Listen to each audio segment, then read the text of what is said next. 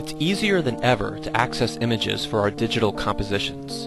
But whether we're artists, teachers, or students, we often find ourselves uncertain about what we're legally allowed to use and for what purposes. No one wants to get into legal trouble because they unknowingly used copyrighted words, images, or music illegally in their creative or academic work. Unfortunately, the answer to what constitutes fair legal use of online visual resources isn't always simple. But we can wade through this digital ocean of images with more confidence if we familiarize ourselves with how U.S. copyright law defines fair use, and if we pay attention to how courts have ruled in past cases involving fair use. Let's look at the fair use provision of the 1976 U.S. Copyright Act. It describes four factors that should be weighed to decide whether the use of a copyrighted work is fair. That is, if it can be used without asking for the permission of the copyright holder.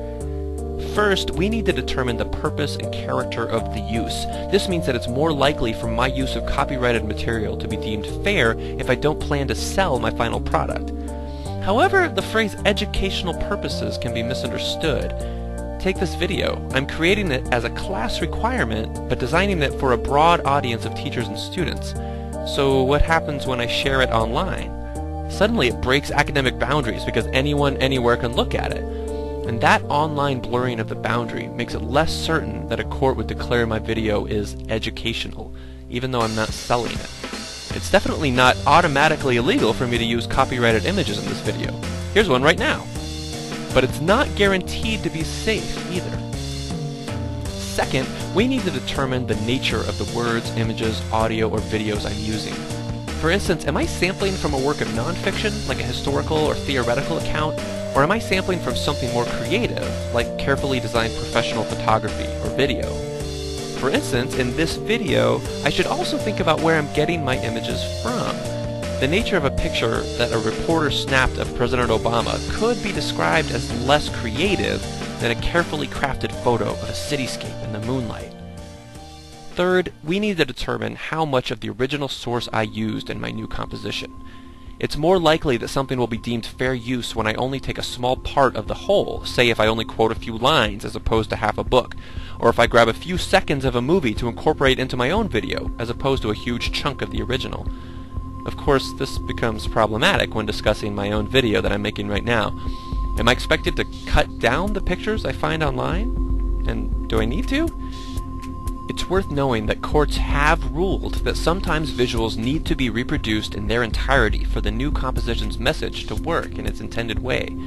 This is one of many places that this legal language begins to look outdated, since it seems designed here to protect authors from having other authors reprint huge chunks of their written words without permission. Fourth, we need to decide if my new composition is going to hurt the sales of the original work.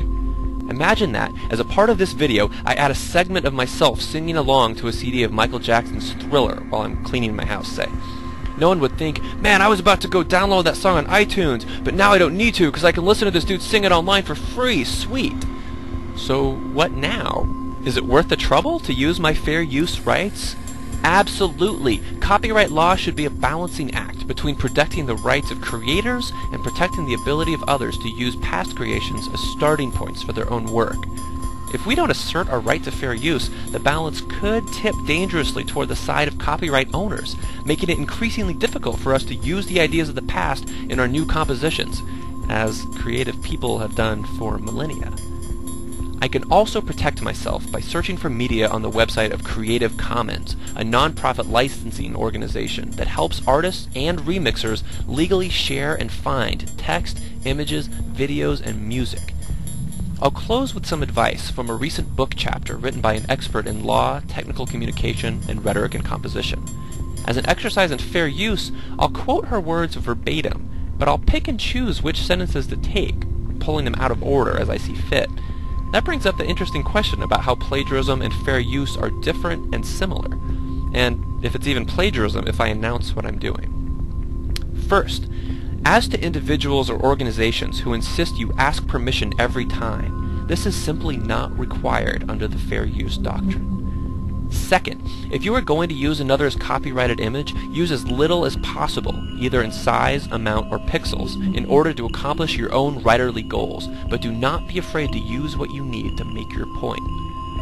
3. always work to synthesize. 4. If you are taking a position on an issue or creating a history or documentary meant to comment and criticize an issue or events, your use may be more likely to be fair, even if the copyrighted materials you remix are creative. 5. Remember the old adage, make sure what you create is your own work. This means shaping and fashioning your final piece so that you take ownership of it and make a statement different than the copyright holder. 6 there is some evidence that the tipping point in court decisions is three out of four fair use factors. 7. Don't underestimate the power of good faith. Act with kindness and respect. But unless you are a political trailblazer, you might want to heed warnings to cease and desist, or risk an expensive lawsuit. Careful balancing of the costs and benefits here is important. Now go forth and boldly create new compositions remix, reuse, and refashion, and share what you make with others.